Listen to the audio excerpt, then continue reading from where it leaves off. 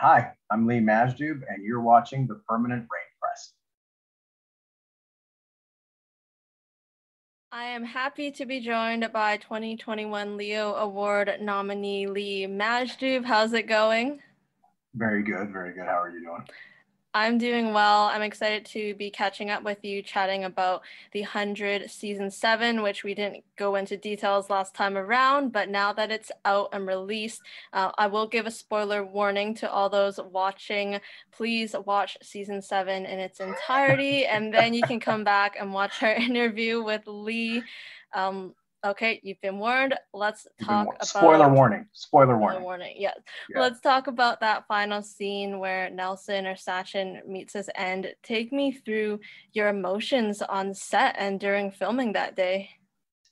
Uh, yeah, that was that was uh, that was quite the scene, and I mean, leading up to it, it was really interesting because we ended season six with uh, you know the writers and everything weren't quite sure what they were going to do with Nelson's story and and the children of Gabriel, and, and then um, you know they kind of came up with this idea of like, oh, you know, like just treat them like they're displaced people and and uh, have Nelson be their point of view for the show.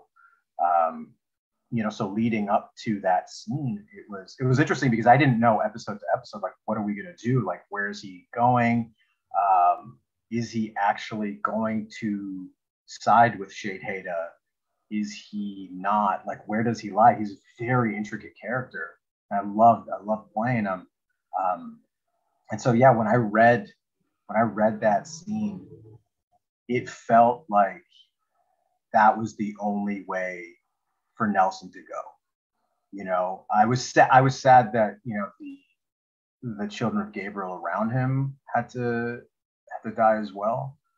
Um, but yeah, leading up to it, I don't, I don't know. It was it was emotional in the sense of you know being on a show like that. I've got some friends on the show and, and having wanted to be a part of that family for you know seven years and and and you know being brought on and so it was emotional just as is and uh, you know um, JR. and I had worked quite a bit together. I think it was it wasn't the episode before, but I think it's it's the episode you see Nelson in before. So I think it's like four episodes before that or whatever, where he tries to kill uh, JR's character Sheidheda, and then there's that discussion. So JR and I talked a lot. We really clicked um, as friends and as as peers, and so it was you know to just have him in front of me in that scene he's someone that you can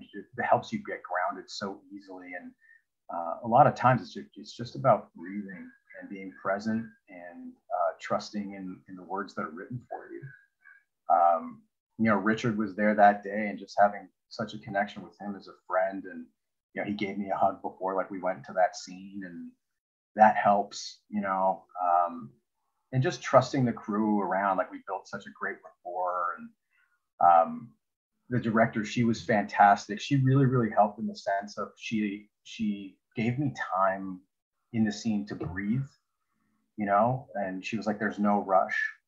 Um, and then the the background actors that were playing the children of Gabriel, a lot of them I had been with episode to episode, and a few of them like such amazing people would always check in with me like throughout the season be like you know hey is there anything we can do? Hey is there you know like uh, do, you, do you want us to be close to you? Do you want us to give you some space? So it became very like we became a team in that sense too. And so it's just such a powerful feeling to have people standing beside you behind you that you feel are there with you whether it's in the scene or whatever you're doing. And then just the image, like, you know, we used blanks for that, uh, for the AK that went off and um, to just look around at them and really just genuinely see, you know, these people that have done everything to kind of um, be there for me as an actor and wanting to be a part of it and to look at them on the like i mean there wasn't much um, much to do if that makes sense. You know, you just take in the scene and, and you just just breathe it in. And and you know it's the last time i'm going to see jr it's the last time i'm going to see these backgrounders it's the last time i'm going to see rick on set. Um, and it's a beautiful story too you know what i mean? Like it's hard not to feel emotional with nelson's story and the children of gabriel and just wanting to belong and have a place you know um, to live in an identity and you know, to get to a point where it's either you side with us and have a home, but you're going to do, you know, we're going to kill, we're going to do or whatever, or are you going to stick to your morals and values? And that means death. And I love the line. I absolutely love the line.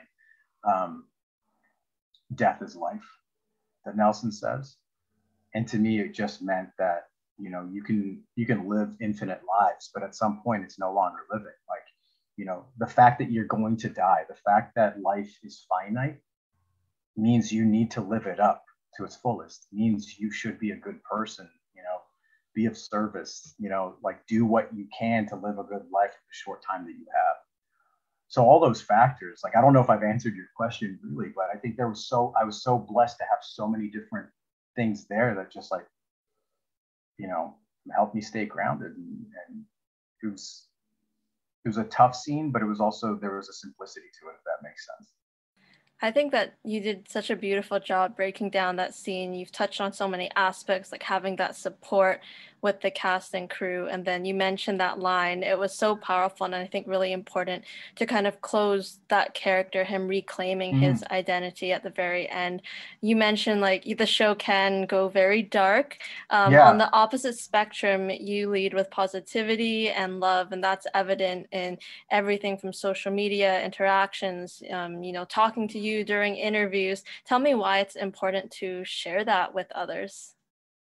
Um, thank you for saying that. Um, it's, I don't know, you know, like I, I told myself something early on. Like I, I struggled a lot early on when I started acting, and, and you know, there were like some personal demons that I was dealing with and um, and working through. And then once I started that journey of, of working through some things, um, realizing that I think so many of us go through uh, whether it's mental, emotional, spiritual, whatever it is, struggles, and we don't talk about it. And I think, you know, not necessarily that I wouldn't have gone through the struggles, but I wouldn't have felt so alone if if uh, if it if it wasn't deemed so taboo to speak about mental health, you know, to speak about identity, to speak about um, you know race, whatever it is, and uh, and the struggle of pursuing you know whatever it is that you're trying to pursue in life like we don't talk about that enough. You know we feel like we have to rush through life and figure out what we need to do. Like i didn't take my first acting class until i was 20 you know and then i didn't i didn't start working until i was about 25 26 was like my first gig. And i think i could have really used knowing that hey you can breathe you can take a second there's more to life than this you know learn about you. Um, and the career will come and friendships will come and um, all of those things will take care of themselves. And for me i don't know i just feel like i have a responsibility to um, to be there for people and be a voice in the sense of like no i struggle too day in and day out still at this point in my career i think um, you know to the outside world you can look at someone's career or or look look at their outside life and be like oh i wish i had that you know? Um, and and not acknowledge the fact that oh you know even though this all looks great i still have my insecurities i still have my struggles i still wake up sometimes and i'm like i don't know what this day is going to bring. I don't know what I'm doing with my life. I don't, you know, and it's about taking a deep breath and being kind to yourself. And I think that's really important just to share with, with people. And, and I think a lot of people need need to hear that. It just if even if it just gives you like today to to breathe and like a sigh of relief and be like, oh, okay, it's okay if I like if all I do is have a shower today, like it's okay. Like, you know what I mean? There's some of those days where it's like, and we beat ourselves up. Where it's like all I did was have a shower. Well, maybe that's you know, as long as you're kind to yourself, and you know that's gonna you know help you recharge your batteries, and and and you can get to work tomorrow or the day after or whenever, you know, and um, no rush in figuring out what you want to do with your life. Just you know, if you're if you're working on yourself and trying to figure out, you know, working through trauma and everything, it's going to happen. Like, you know, you'll figure it out. Um, but yeah, I just feel like, uh, and it's happening. Like more and more people are talking about it. Like it's great to see so much more positivity on social media, and and uh, yeah, yeah. That I, I feel like I don't know. I just have a responsibility to do that. I feel like I owe it to fans. You know? Yes, community. yeah, like you said. Yeah, sorry, go ahead. A, a, community that has really embraced, you know, you and those positive affirmations and feelings is that of Sonic the Hedgehog, obviously. Mm-hmm. Agent Stone, a fan favorite in the first movie. Did you ever imagine how popular the idea of steamed Austrian goat milk lattes would become when you know that was in the script, when you read it for the first time? Any idea? None like it was it was it's just like you know look, looking a few years back it's still really this element of of having to pinch myself to uh, to remember to realize that I'm part of this world. I'm part of the Sega family. I'm part of the uh, Sonic family. I'm part of like uh, that fandom. Um, you know, especially growing up and playing the game and, uh, and you know, being a Jim Carrey fan.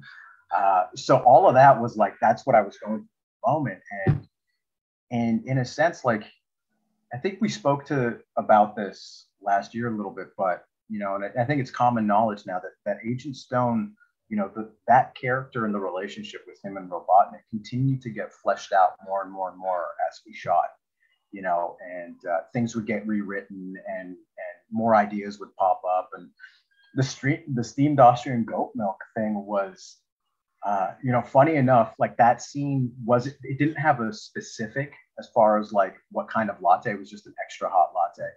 And um, I was just googling the night before, like you know, pretentious coffee orders, and I saw on a Reddit forum that one barista had had someone order a latte with Austrian goat milk. And so I show up the next day to set, you know, and, and Jim and I are chatting and, you know, he's got all these amazing ideas and, and he's like, and I told him, oh, I had, I have an idea. And he's like, oh, okay. Like, what, what is it? What is it? You know? And I'm excited that he wants to hear it. I tell him the Austrian goat milk and he starts laughing and he's like, we got to incorporate that. So incorporate that here. I'll say this. And, um, you know, and then we tried to figure it out like, oh, do we add steamed to the line, like a steamed Austrian goat milk or just an extra hot Austrian goat milk or whatever? And then we just found it just so funny to that an Austrian goat milk like would be steamed and you know and added to a latte. And and yeah it seems like it's it's it's it's a favorite moment for a lot of people in that movie. Just the and a lot of people talk about like just the cuteness of agent stone standing there with the two coffees just kind of you know, shoulder dancing with uh, with Robotnik and the, like him in the background. And um, I just love it. It's just such a feel good movie, and I like the character so much. Um, I love that fans took took such a liking to to him and, and the relationship between him and, and Dr. Robotnik. That improv moment, um, magic. Obviously, you're you're reaping the benefits of it still. Um, now, I wanted to talk about being a part and interacting with the Sonic community, what do you think has been your number one moment so far? I know you've had so many, it's hard mm-hmm. to pick mm-hmm. one, but if you had to. It's you're, you're right. There there have been a lot of moments, and it's really hard to pick one. I mean, you know, there's the fan art for sure um, that is so endearing, and every time I, I see, you know, a new art piece. It's just, you know, it warms my heart. And, and especially for me, it's to see like I've had artists reach out to me and say, you know, I I stopped drawing for a while, and then you know this inspired me to to to get back into it. Those types of things I love, right? If, if I can if I can inspire, or if a project I do can inspire you to find your creativity again, find your passion again, whatever it is, I love that. Like it's it's so heartwarming. Um, I would have to say that being involved with Sonic gave me the opportunity uh, last year to um, go to some children's hospital visits in in LA and be able to visit some kids out there and, and sign a bunch of merch and and chat with them. They got to watch the movie. I, am you know um, I uh, I'm associated slightly every now and then. I help out with, uh, or, or, show up and do little story times and everything with uh, a not-for-profit called the Lollipop Theater organization. They basically uh, or network Lollipop Theater Network. Uh, and basically, what they do is they uh, they take whatever movies are out in the theaters that kids in hospitals can't go see. They bring them the DVD copy. They bring them the digital copy, so kids don't miss out on seeing those movies in the theaters. And then they figure out like, okay, who's someone involved in that production that can come and visit with the kids. And that like that whole experience, just you know, meeting those kids and their families and being able to uh, chat with them. And, you know, we don't poke fun at like how much fun they had watching Agent Stone get abused. And, you know, I just like, what do you, what do you mean? Like, come on, that's not, that's not nice. But, uh, yeah, so it's, it's, uh, it's a blessing to be part of that. You know what I mean? Just I think anything you can do to help uplift the spirit of others and you can see that is is a win-win situation how big is your Sonic memorabilia collection today? Oh, uh, what do I have? What do I have? So I've got, um, so I've got like this uh, Sonic statuette. I've got um, a candle, like this this awesome candle. It's like the box that you hit, uh, but made into a candle in the game. The box that you hit in the game. And then I've got a Sega Genesis Mini um, with Sonic 2, Sonic 1, all of those on it. Uh, I've got the DVD. Uh, what else do I have? I think you have some t-shirts. shirts. Yeah, shirts. yeah, yeah, a couple the, of t-shirts. The really cool one, the custom Funko Pop of your character. Yes, yes. Where where is it? Oh, moved up the window. There he is. Right here. Look at that. Look at this guy. Look at this guy. Custom made. Like it's amazing so amazing. Like it's so just cute wild. Too. Yeah, yeah. It's just and looks exactly like me, life sized. Um, yeah, it's it's wild. It's it's just you know hard to put words to it. You know what I mean? Just like oh hey, someone made a custom Funko Pop for you. You know, you're getting sent Sonic memorabilia. You're like you're part of this amazing world and this amazing fan base that you know, has become such a positive force, you know. Um, it's really great. You have some lovely cats at home. Have they ever looked at Sonic, the character around your place, and do you think that they're intuitive to realize the impact that this character has had in your life and career these past couple of years?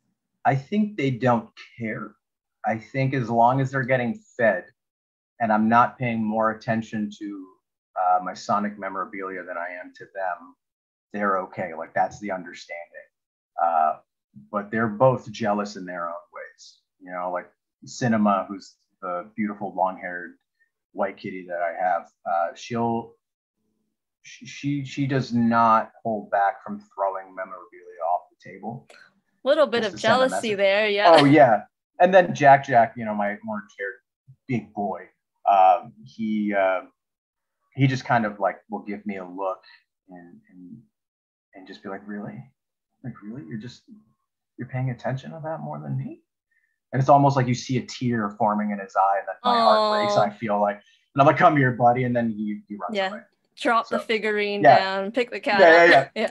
Yeah. So it's like as soon as I pay attention to him, he no longer wants wants the attention. Classic.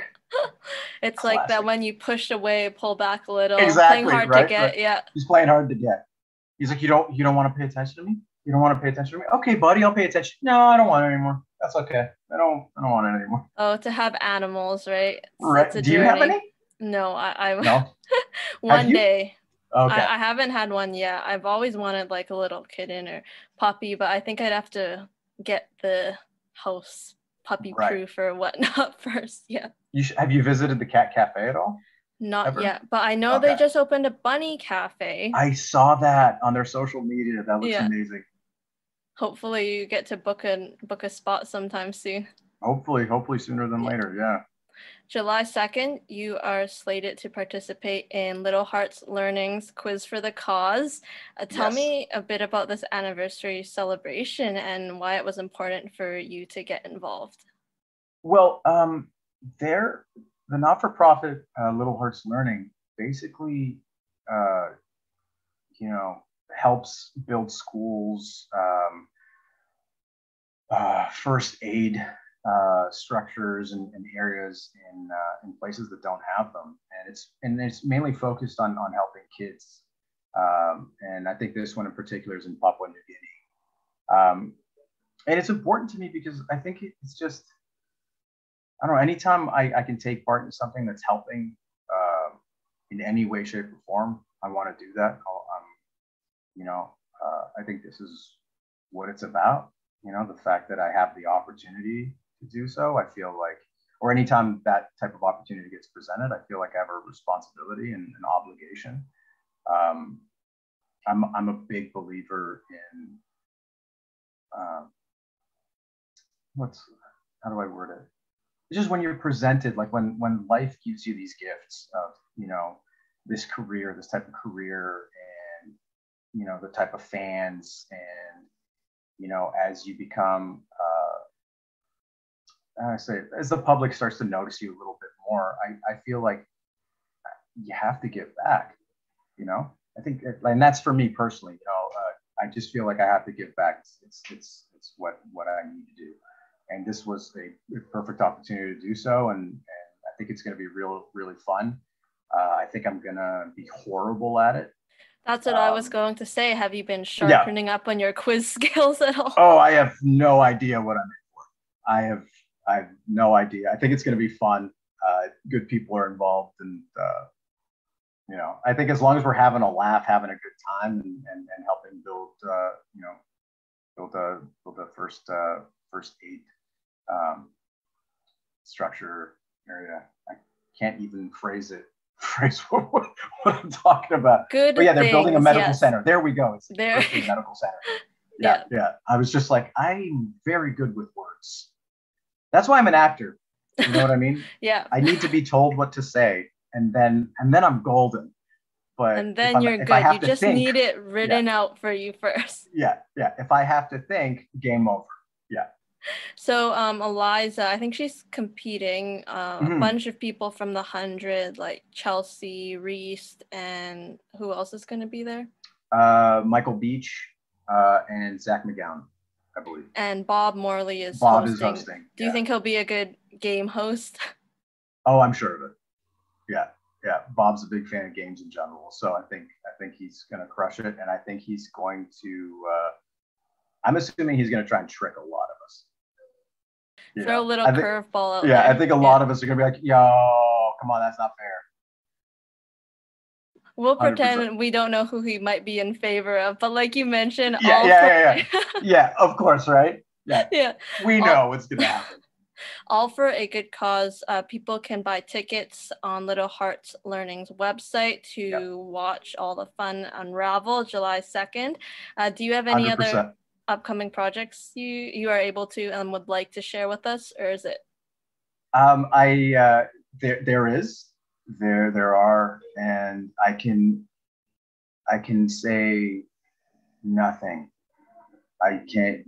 Yeah, I can't say. Can I say something? I can't say anything. Exciting things are in the works. We'll leave it at that. Yeah, yeah, fun stuff. Fun stuff. Uh, exciting, um, and I can't wait for people to find out what they are. And our wild card question for you You Ooh, get to create your own Willy Wonka's three course dinner chewing a gum. What will it be comprised of? chewing a gum, a three course meal chewing gum. Uh, it's gonna start with what's the appy? Um, let's go with some. Uh, we'll go with some uh, edamame.